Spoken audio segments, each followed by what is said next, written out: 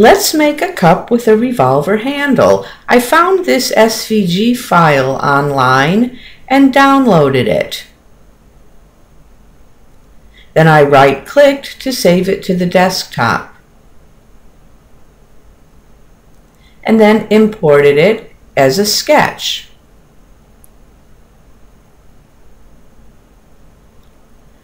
I want to trim off most of the barrel, so I'll draw a polyline by selecting the whole sketch and then clicking the polyline's endpoints, and then using trim to get rid of everything to the left. Eventually, I want the sketch to look like this. I've kept the square and the arc for the handle for future construction purposes. Now this sketch has multiple parts, so hold the shift key down while selecting them and then extrude them up together.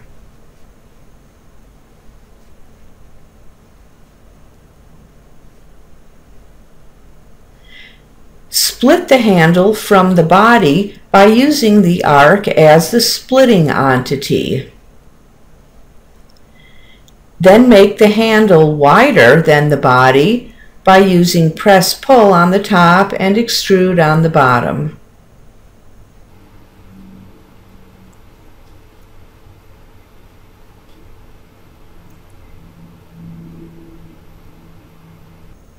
Now draw a cylinder roughly the size of that sketched square.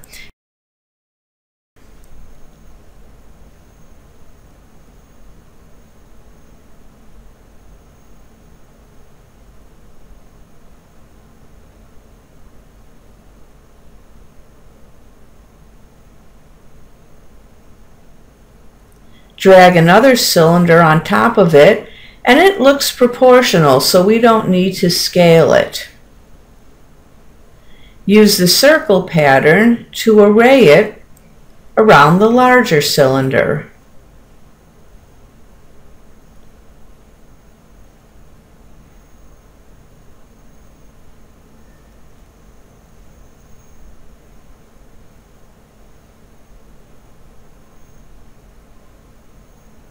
Now click Extrude and the Subtract option.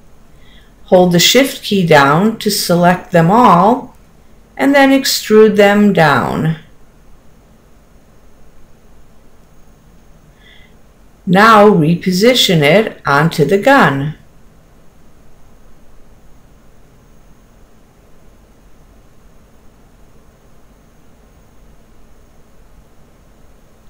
Make sure you can see it on both sides.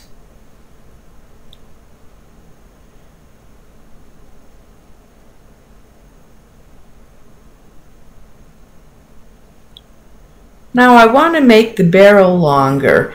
It actually is composed of three parts. So I'm going to sketch a rectangle over all of them and extrude it.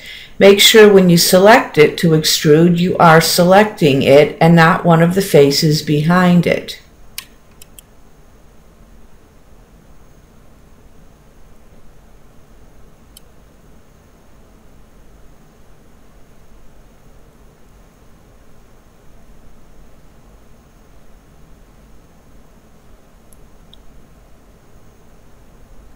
Let's fillet the edges of the handle just to make them look nicer.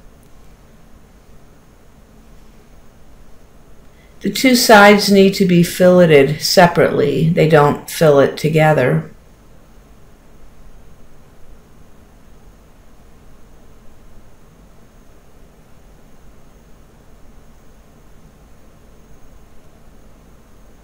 Oh, it's time to make the cup.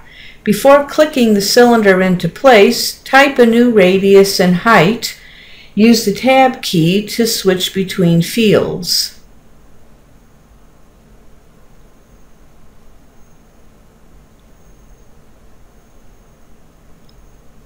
Then select the top and shell it.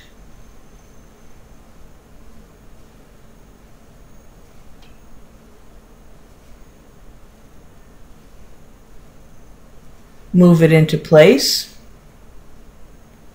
Looks like it needs to be a bit taller, so press pull the top.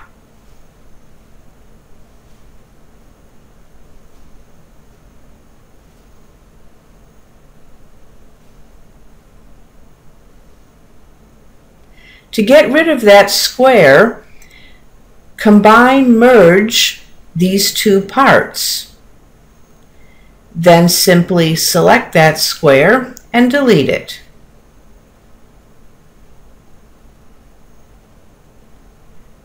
Finally, let's combine merge all the individual parts. You can only combine two at a time.